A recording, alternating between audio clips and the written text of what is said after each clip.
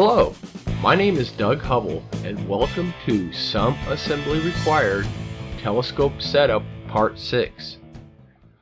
After preparing the telescope for the night, I use a cover to keep the sun, dust, and elements off of the scope during the day.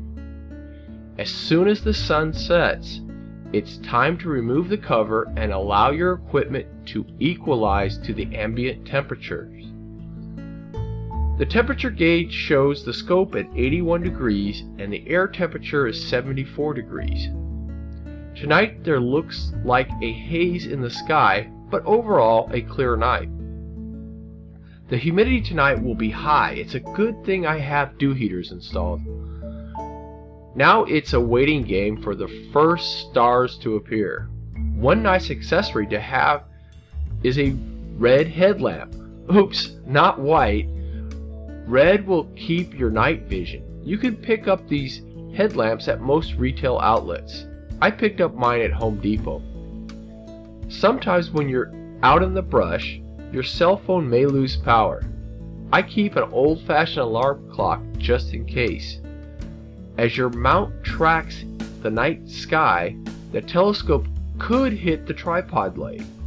Having an alarm clock is important so you don't miss the all-important meridian flip.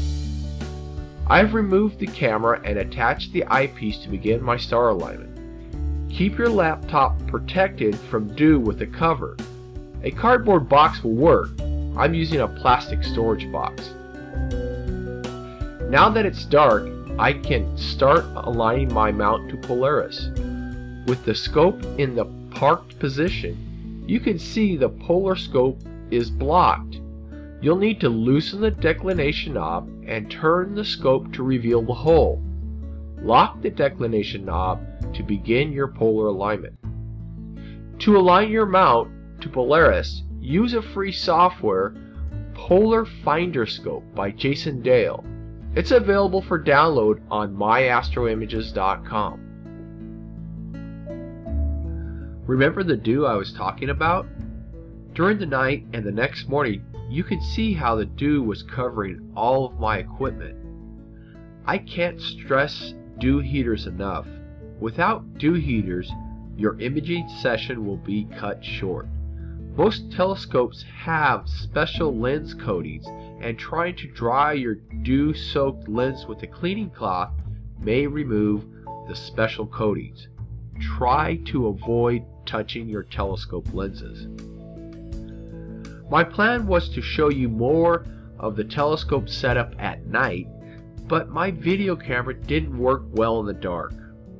I'll continue with more videos as soon as I can find a video camera that has night vision. If you have a suggestion for nighttime video camera, please post your suggestions in the comments section below. Thanks for watching and please subscribe.